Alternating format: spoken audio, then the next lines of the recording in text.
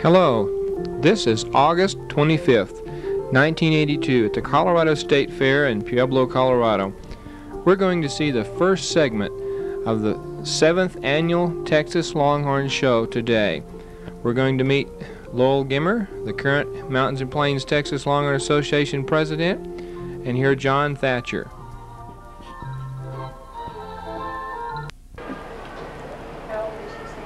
John, sure like to thank you for the job you've done. It looks like we looks like we've got a lot of good cattle and people, and everything seems to be going pretty good. Low, it looks like it's going to be another top show because people bring their good cattle.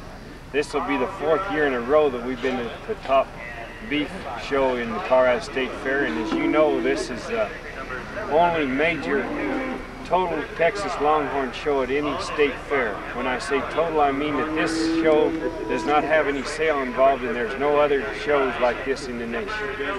Well, you kind of gave the other states something to shoot at, it looked to me like. I've heard rumors some of these other state fairs kind of looking at it. Yeah, there's three other state fairs that are patterning their shows after us, and we hope and wish them a lot of good luck in the future, but they're going to have to whip up to compete with this show. Well, it looks like these Longhorns have made a comeback as far as people looking at them as well as in the beef industry. I don't think there's any question about the comeback of the Longhorns. We just started though, and from now on it's all uphill. The people in the past have done the hard work. It's, the gravy's waiting for us. Well, I know there's a lot of interest in the cattle. Every people coming around and looking at them and asking questions. And, you know, they're doing a good job for the commercial man now. That's what makes me feel good. Yes. Talking about the commercial men, there was a man here today that's trying to put together a feeder sale show with these crossbred cattle, which is just one of the many things that's happening down the road in the future. Well, you know, that's right. I've talked with several people that's had these cattle in feedlot, and we've had them ourselves. And they'll hold right up. Your crossbred longhorn crosses will hold right up with any breed of cattle in the feedlot. In fact, it's better when it's uh, just lean meat. Yeah, there's a lot of good points to the longhorns, and there's a lot of feedlot people that are learning. I'm Bob Garrett. I'm from Deeth, Nevada. And I've been selected the Longhorn judge at this Colorado State Fair this year, and I'm real honored to be so.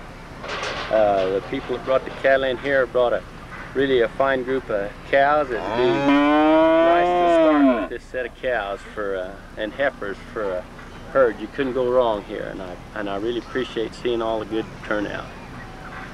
Kelly Peterson, I'm the reigning queen for the Mountains Texas Longhorn Association, and it's really a pleasure for me to be back in Colorado, and especially um, to be at the Colorado State Fair, and it's it's really a privilege, especially this time because my dad was judging the the Longhorn show here, and uh, it's I think Longhorns are growing um, in popularity all over the United States, and I know that they've certainly made a big difference in the cattle industry um, on our ranch. I know that it's a new breed that has a big future. My name is Julius Roberts, Quinnalarga Cattle Company. I'll be working in the arena with these cattle today. The first class will be yearling heifers. Second class will be the junior cows. And then the senior cows.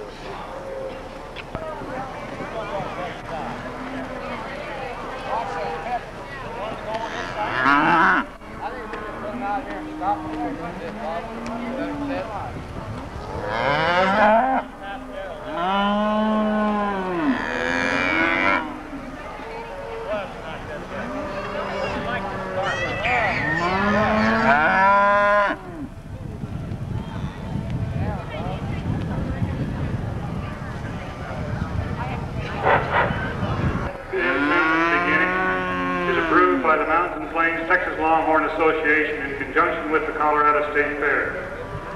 We invite you to stay with us for the next hour or so and witness a spectacle that can only be associated with the Western history and heritage of these United States. You're going to see here in this arena the largest exhibition and judging of Texas Longhorn cattle anywhere, anytime. Years ago.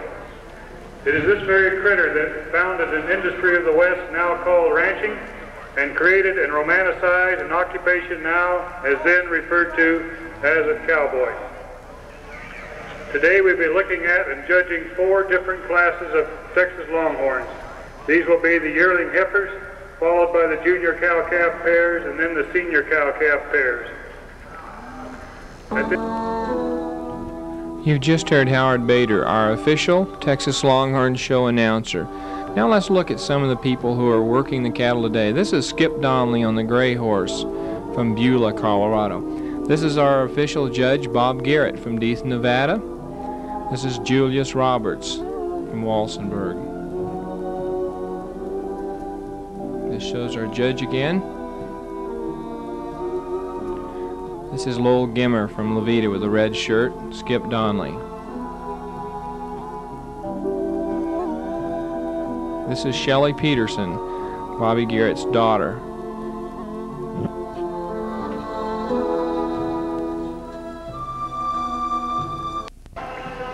As you can see, these heifers are not haltered, clipped, or shampooed, or otherwise fancied up. They're being shown in their everyday range workflows in range conditions.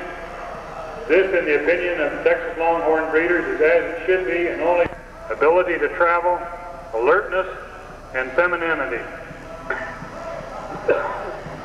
Texas Longhorns, by the very name, imply longhorns, and justifiably so. Therefore, horn shape, length, and configuration also will be considered by our judges. Color also comes in for some evaluation and consideration. Judging Texas Longhorn cattle therefore becomes a rather complex and difficult job. Our congratulations go to Bobby Garrett for accepting this judging position this year. As always, the Colorado State Fair has attempted to bring the best qualified judge available. Five Shirley acquired their first Longhorns in either 1967 or 68. They now run some 40 mother Texas Longhorn cows on their Nevada ranch. Bobby is also very much involved in the commercial end of ranching as he runs some 10,000 head of steers on their 440,000 acre ranch. As you can imagine, this takes a pretty good sized payroll of from 20 to 30 ranch hands. Ed is his right hand man and able to assist his dad in the ranch operation. Bob and Shirley Garrett have three daughters, all of whom are married. Bobby, welcome to the Colorado State Fair, and we enjoy, certainly hope you enjoy your stay here.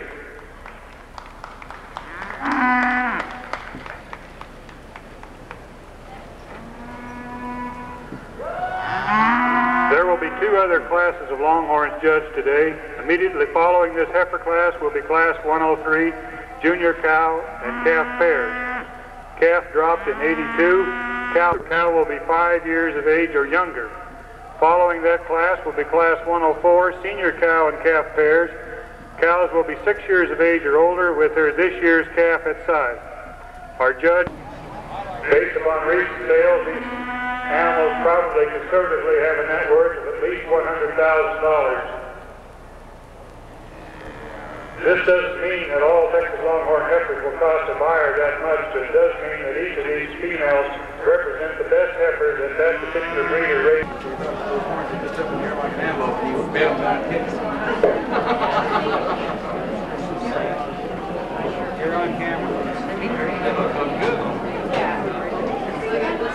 Go ahead, shoot, Daryl. I'm, uh, about there. Daryl, I've been posing for a half an hour. Daryl, come back this way. Now, You're not uh, getting me if you go over that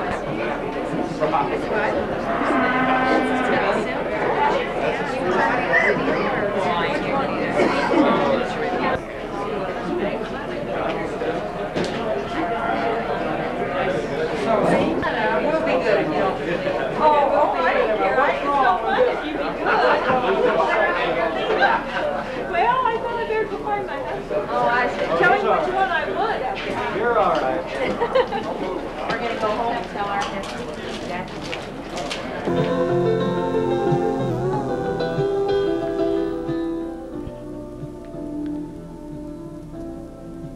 Just seen a number of Texas Longhorn breeders and friends at the Colorado State Fair watching the yearling Texas Longhorn Heifer Show.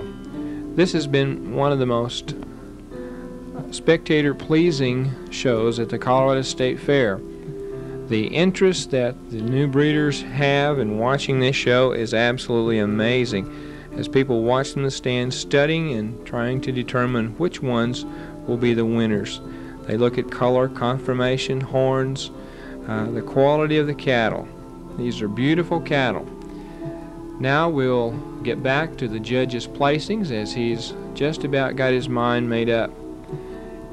Our official announcer, Howard Bader, will uh, give the final decision of the judge, Bobby Garrett from Deeth, Nevada.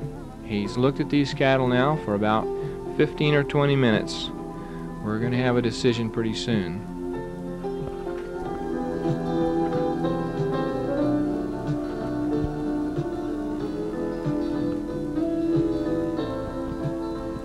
Now the men are gathering to uh, pick out the ones that have placed. Here Julius Roberts is going to drive the first place heifer out for her introduction.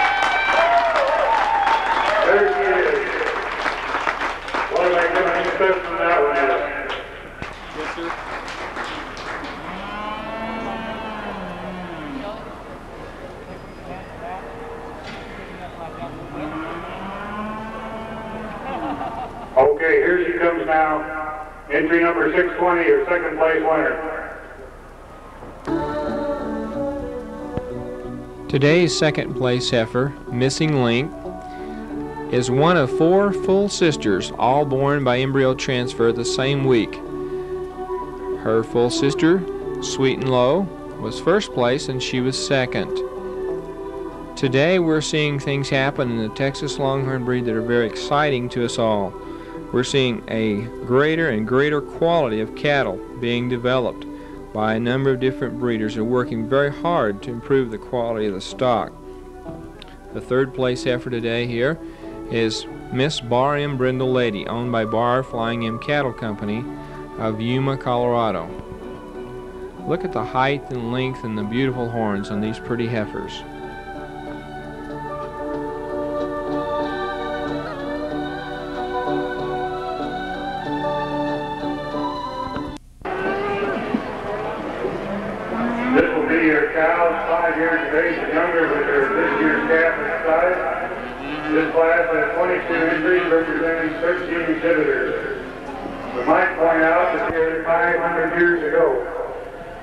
Spanish explorers, of which Christopher Columbus was the first, brought Spanish Andalusian cattle were allowed to graze together. The most prominent of these breeds were the Andalusian reds, blondes, blacks, each being a separate breed by color. Many of these cattle escaped, strayed, or were abandoned, consequently turning wild and surviving on their own. After some 200 years, these cattle have fused into a widespread, roughly similar type. Some have become speckled, but many still exhibited the solid coloring of their ancestors with reds and blacks predominating.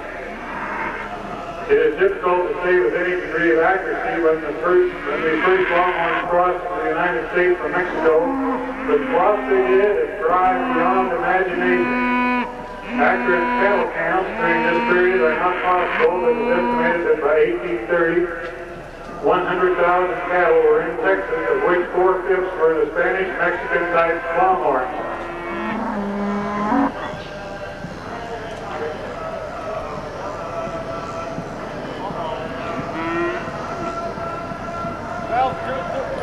By 1850, this number had nearly 1 million, and by 1861, at the start of the Civil War, to 3.5 million. The Civil War period is much developed the legendary characteristics.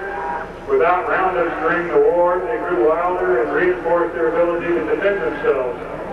Massive horns became longer and stronger. They were tall and thick boned, back swaying from the length of their bodies. Yet they were built for colors became more varied. There were brindles, white, pale reds, almost orange, and many kinds of paint. There were mulberries and green streaks and speckled blues. Julius, slate hue or mouse color appeared. Duns were dark faded or jersey-like creams approaching yellow.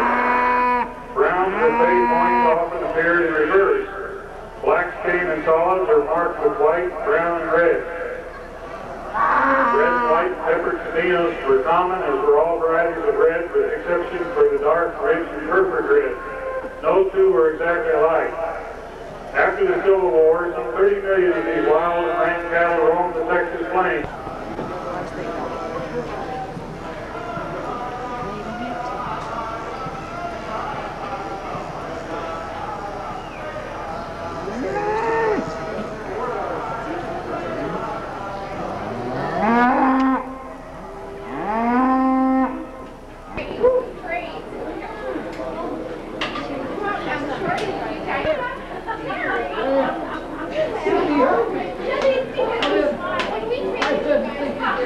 So our judge has completed his judging, and we should have the results shortly.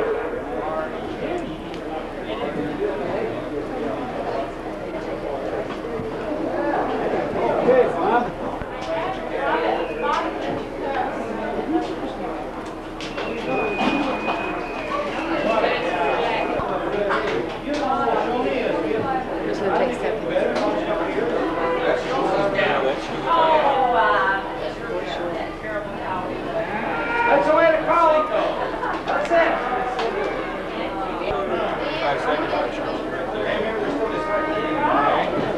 Okay, here we have the results of the Class 103 Junior Cow and Calf Pair.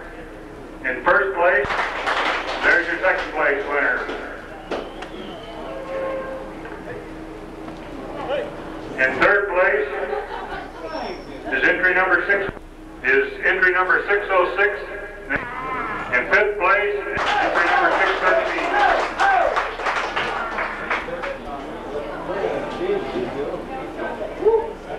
And in sixth place is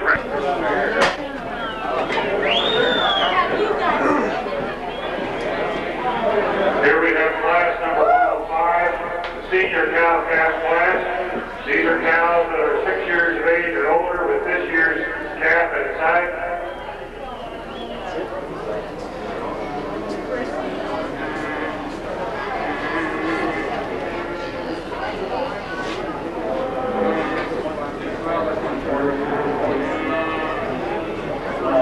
to New Mexico and to Colorado. This long and tortuous route, called the Goodnight Loving Trail, carried the names of its founders, Charles Goodnight and Oliver Loving. Prior to the war, most cattle had trailed to Louisiana Missouri, but in 1866, Charles Goodnight had the foresight to see that north would be the direction of the future. Southern states were destitute of cattle, but they were also bankrupt, and farmers in Missouri were Texas at the start of the Civil War had more problems than just fighting the Yankees. They were being heavily pressured by Comanches and Kiowa Indians. So in 1861, Texas created the famous Frontier Regiment to defend itself from the Indians, and it was in this unit that Charles Goodnight served. After the war, Goodnight determined to drive a herd of Texas steers north. He teamed up with Oliver Loving, a 54-year-old experienced Texas cowman, and so on June 6, 1866, Loving and the 30-year-old bachelor Goodnight, with 18 men and 2,000 big longhorn steers, starting in Young County, Texas, they moved north, crossing the North Concho River 20 miles above San Angelo. The head was a waterless stretch of 96 miles, which required three days and passed through Castle Gap the, in the Castle Mountains to hit Horsehead Crossing on the Pecos River, one of the most noted and feared crossings in western Texas. Two days were spent in crossing Carlsbad. Then they crossed the Pecos once again and headed north along its east side. Upon reaching Fort Sumner in east central New Mexico, they found a ready market for most of their steers. They sold all but seven or eight hundred to the government for eight cents a pound on the hoof and netted a sizable profit despite losses of nearly 20% on the trail. Goodnight and Bosque Grande 40 miles below Fort Sumner, where he and Loving wintered and became Santa Fe in August. Loving went ahead to be present at the bidding, but was mortally wounded in an Indian ambush.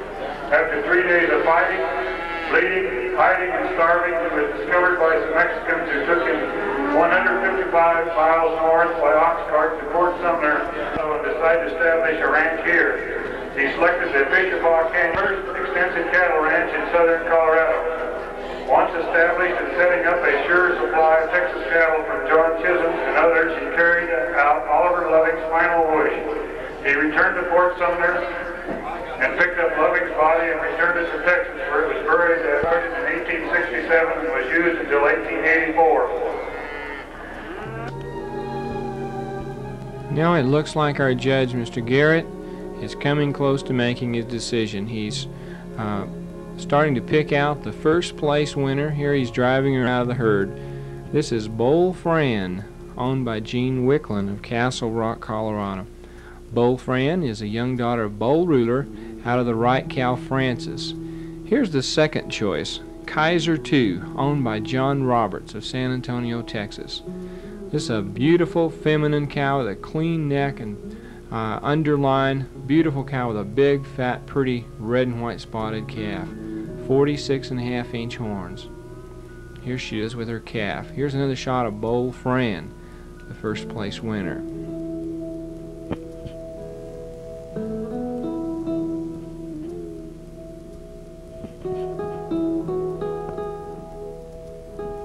This was a very tough class of young cows. This is a third place winner, Manzanita, owned by T. Lazy S Ranch, with her Reveille heifer at side. This is the fourth place winner, Miss Shahan 152, owned by Bar Flying M Cattle Company of Yuma, Colorado.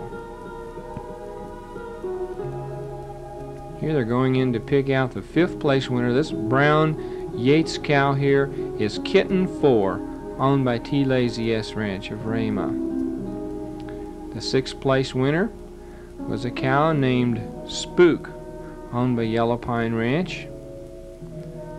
The seventh place winner was Sunflower 774, owned by Bar Flying M Cattle Company. The eighth place was Little Sancho, owned by Thatcher Ranch. Ninth was Miss Priss, owned by Doyle Johnson of Lukachukai, Arizona. Tenth place was 3S 358, owned by Bar Flying M Cattle Company.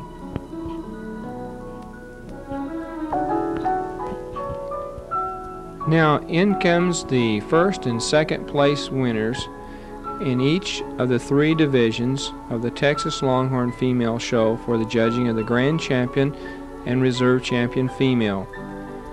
This will be the yearling heifers. The two here are pictured nearest the camera.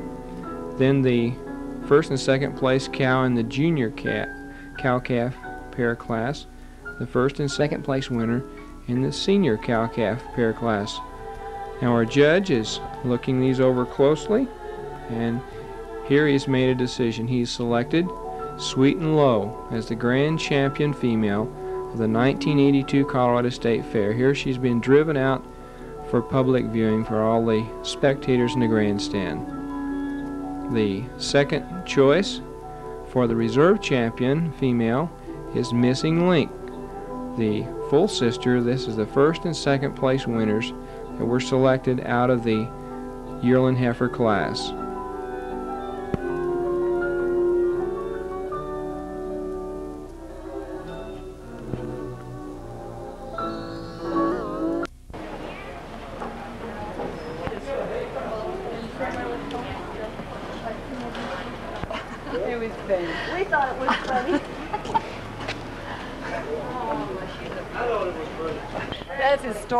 Right there. Go ahead, shoot. shoot. In third place, the Seamer Roan Special, owned by the Yellow Pine Ranch in Katera, Colorado. Got it. Got it. Accepting is Charlene Rogers. Stepping to the T Lazy S Ranch is Sid Kelsey. Dickinson Ranch is Mrs. Linda Dickinson and Charlene Rogers. Rescue.